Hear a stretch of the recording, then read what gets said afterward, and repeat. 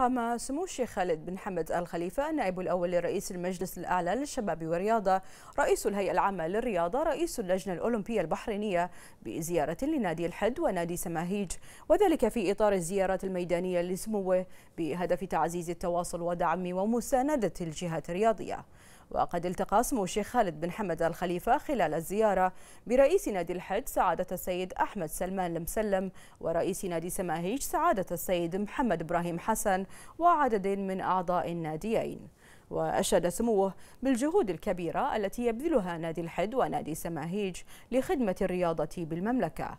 من خلال إقامة الأنشطة والفعاليات الرياضية المختلفة وتشجيع الناشئة والشباب على ممارسة الرياضة واحتضانهم بالفرق الرياضية بالناديين والمشاركة الفاعلة في المسابقات المحلية.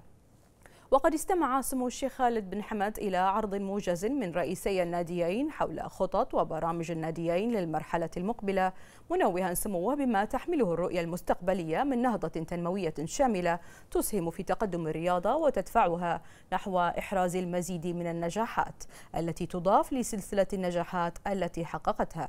من جهتهما قدم رئيسا الناديين الشكر والتقدير إلى سمو الشيخ خالد بن حمد على تفضله بزيارة ناديين مؤكدين أن هذه الزيارة تعكس حرص واهتمام سموه بتعزيز التواصل الميداني وتفقد احتياجات الأندية الوطنية من أجل تطويرها. معاهدين سموه على المضي قدما نحو المواصلة في العمل لتحقيق كل ما من شأنه رفعة وازدهار الرياضة.